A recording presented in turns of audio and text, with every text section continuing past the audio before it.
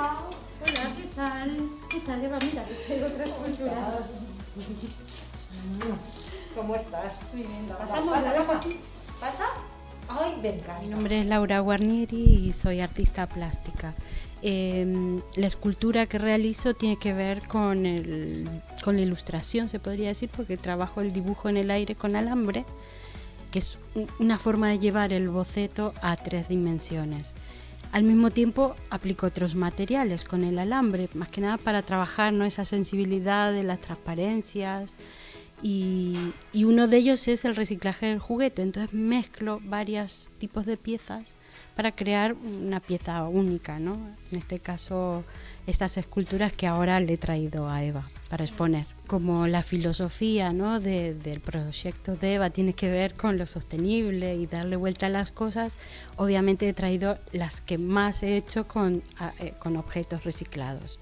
Por ejemplo, he traído una escultura que está montada sobre un tablón de, de obra, eh, otra que está hecha con partes de una muñeca y simula, eh, como es una muñeca que la rescaté de una casa a punto de derrumbarse, pues ese olvido, ¿no? Cuando el tiempo pasa sobre objetos y parece que solo está en los recuerdos, pues la escultura que yo hago intenta traer ese recuerdo, pero como si fuera algo, no como algo fantasmal, ¿no? Pero sí que da esa sensación de que se evapora, ¿no? En el aire un poco la escultura. Para mí es esencial que en la ciudad como Zaragoza, que es tan moderna, se reactiven este tipo de proyectos porque eh, no es solo que estén de moda, sino es que tienen algo más allá, ¿no? que tiene que ver con el planeta, con ayudarnos, con cambiar la forma de, ver el consumo.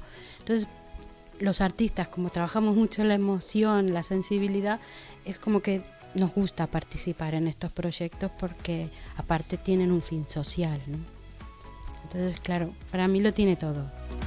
Segundas Vidas abría a finales de 2021 y el Instituto Municipal de Empleo a través de Zaragoza Dinámica ha acompañado a Eva en un proyecto que ya es una realidad y que ha supuesto para su autora un nuevo renacer en la vida. Y es que formar para el empleo y buscar las alternativas sostenibles son para Zaragoza Dinámica hechos posibles y reales.